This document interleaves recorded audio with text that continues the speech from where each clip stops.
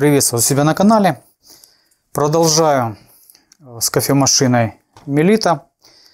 За, за это самое заказал запчасти. Это было прошлое видео, мы ее разбирали. Кому интересно, можете перейти посмотреть. Э, не объединял это все в одно видео, потому что как бы занимает пока разборка, потом снять, поставить этот самый дренажный. Это растянется видео, вы его все равно полностью, возможно, смотреть не будете. А может у вас просто нет необходимости, допустим, в самой разборке, да, либо в этом клапане. Поэтому я разнес два видео. За этот самый. Для тех, кто не смотрел, аппарат пришел по причине, что он течет. Внутри я как бы не нашел как бы особого протекания. Протекает он внизу в поддон. У меня подозрение на э, дренажный и на этот самый, на заварочный узел. И там, и там как бы я потеки видел. Поэтому я заказал одним комплектом ремкомплект сам дренажный и ремкомплект на заварочный узел. Где заказывал я прикручу в этом самом в описании сможете посмотреть. Кому надо, можете заказывать. Вот такую они влаживают бирочку с описанием своим, что у них есть.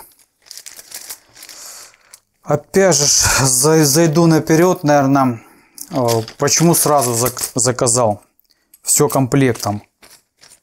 Если бы я для себя делал, а возможно у меня было бы лишнее время, несколько раз снимать, перепроверять, ставить, колхозить. Поскольку это делается для человека, я реально понимаю, что при стоимости 15 долларов за запчасть потратить ну, какие-то деньги на пересылку почты, ждать. Если вдруг заказал, допустим, просто перебрал, чтобы дешевле было, термо, этот самый заварочный узел, а по итогу оказалось, все-таки надо разбирать и менять дренажник. Поэтому как бы это лишние расходы, это время, э, плюс если бы сразу, допустим, дренажный, который я буду перебирать, там, поставил бы какие-то ремкомплекты, какие-то колечки, потек бы он, допустим, через неделю. Человек потратил бы время опять приехать, опять бы я разбирал бы. Ну, короче, избежать всех вот этих тараканьих бегов, лишних расходов, опять же, финансовых, и терять свое время, ну, за 15 долларов, ну, глуповато, ну, может быть, 16 долларов, да.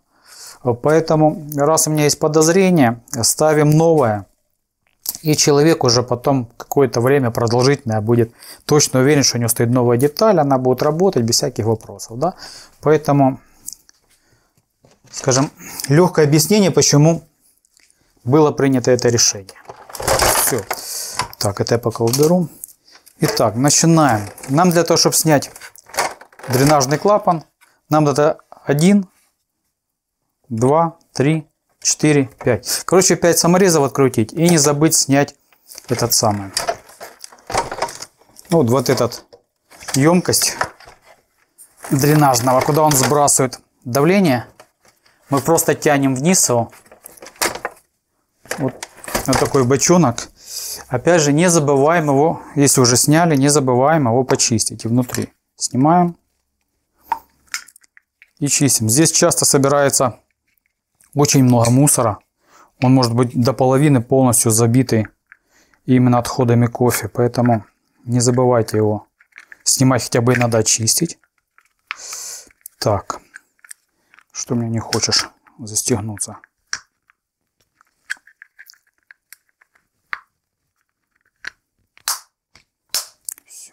поставил. И все, я разбираю, выкручиваю саморезы. Ну, если вам будет плохо видно, извините, потому что мне надо их открутить. По этому самому, по толкателю дренажа, я сейчас по нему покажу. Его нужно будет назад устанавливать в правильное положение, чтобы на него нажимал. Вы можете это либо себе как-то зафиксировать, либо сфотографировать, как он у вас стоит. Но можно просто меточку поставить фломастером, ну или маркером. И все будет нормально. Так. Ладно, я выкручиваю как мне удобно. Так будет и быстрее, не буду ваше время тратить и, и ничего не растеряю. Так. Раз, два, три, четыре.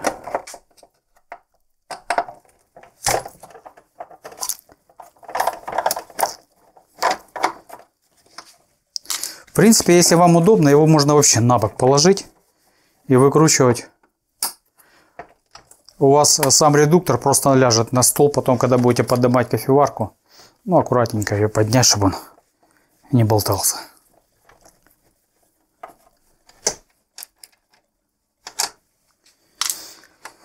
Так, открутил. Так, теперь нам надо, вот он у нас отходит, нам надо снять вот эту скобу, освободить трубку.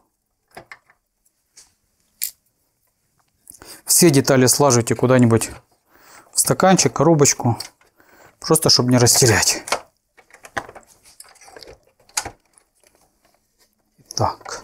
Вот я говорил за вот этот толкатель, видите, да, я его фломастером пометил. У нас вот идет выступ, если вы видите. Вот он. И вот, вот он нарисованный вот прямо к выступу. Стоит вот этим э, толкателем в эту сторону. Но в любом случае не забудете. Можете нарисовать, сфотографировать. И не забудете вообще никак. Снимаем эту тефлоночку. Она нам сейчас будет мешать вытаскивать. Так, дальше, чтобы нам вытянуть дренажный, надо снять пружинку. Пружинку мы сейчас снимем. Где у меня? Давайте лопаткой. Вы можете снять. Старайтесь не терять. Хотя в ремкомплекте у нас вместе с дренажным пришла новая пружинка. Мы ее и поставим. Но в любом случае терять не надо. Для того, чтобы его снять, вы просто дренажный вот сюда вниз, вот так просто потянули. И все, и он у вас выходит. Все, здесь вычищаем.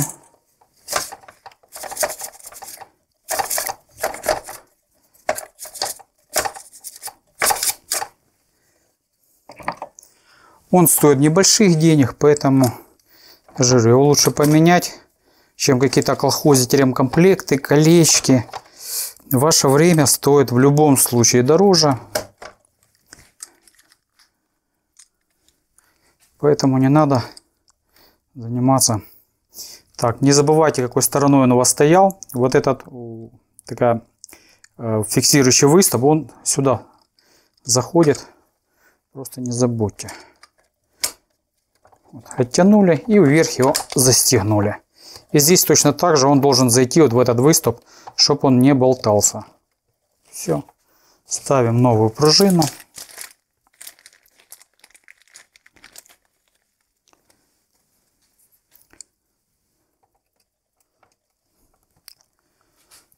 Так, постарайтесь, чтобы у вас пружина не улетела никуда.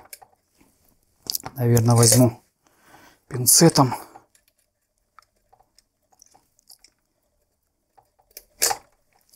Так, вот это когда видео писать, бывают моменты, когда неудобно. Поэтому извините, я сейчас, чтобы пружину не потерять, я возможно, вам перекрою немножко обзор.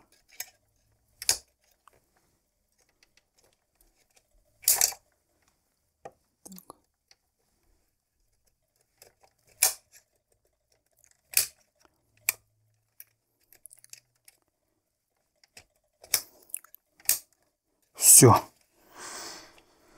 Все поставил. И теперь будем устанавливать это все обратно.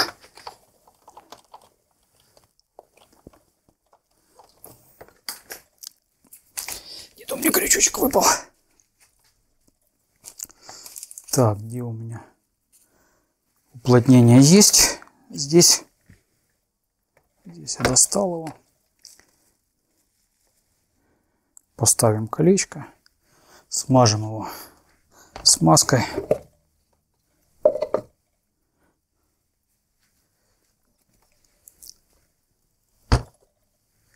Так, а что здесь у меня? Так тоже достану, наверное, сразу.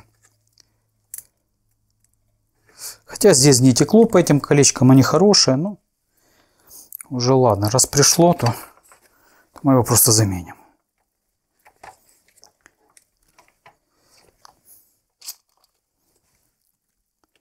Поставили скобу.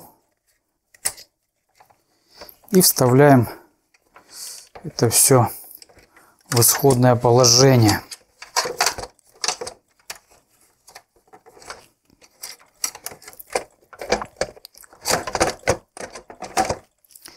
Так, я сразу поставлю здесь на место.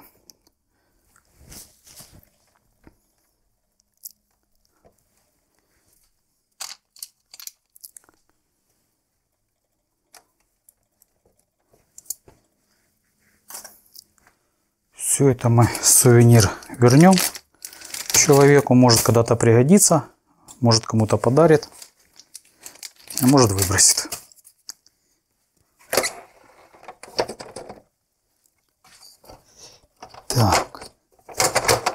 Дренажный мы сейчас поставим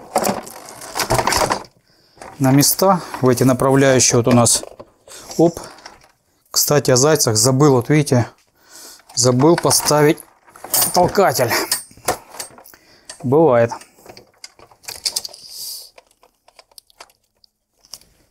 Все. Ага. Сволочь, пытается выпасть. Сейчас я с этой стороны его буду придерживать рукой.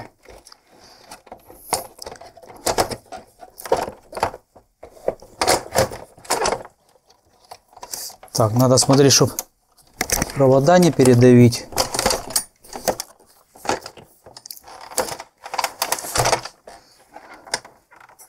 Видите, да, я за него держу, чтобы она не выскочила. И теперь будем ставить.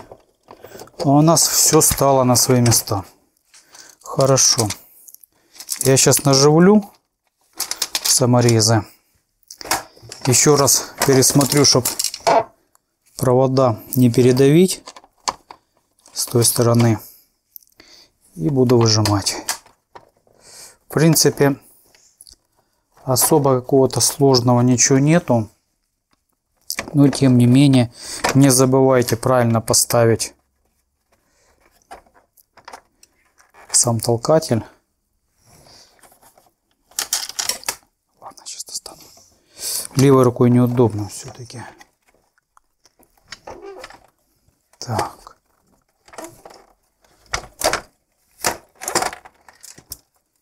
Так, здесь все на месте, ничего не попало, ничего не передавливаю. Ладно, зажимаем.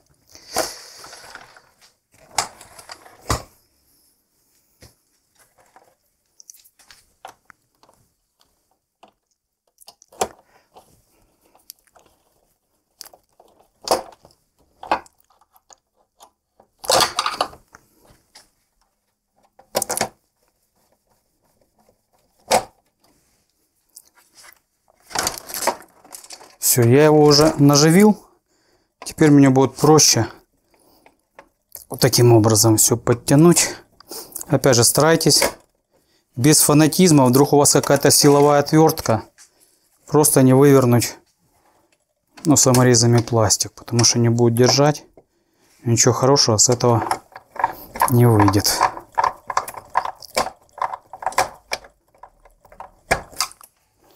Вроде все на месте. Ничего не забыли. Да. Так, не забываем поставить на место эту емкость. Она у нас просто, просто застегивается.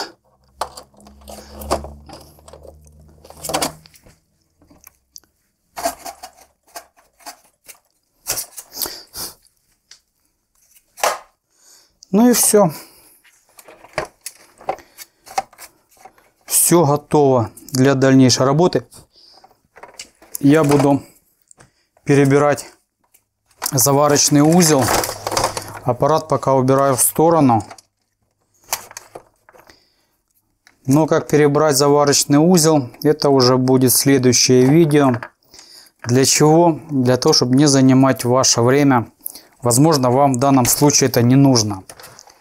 Поэтому как бы буду небольшими такими скажем, лягушачьими скачками будем решать вопрос по этому аппарату. Ну а с вами пока прощаюсь. Удачи вам, до свидания. Не забывайте подписываться, лайки, комментарии, если это вам чем-то помогло. Либо есть какие-то дополнительные вопросы. Ну, а я буду продолжать и в следующем видео встретимся. Удачи, до свидания.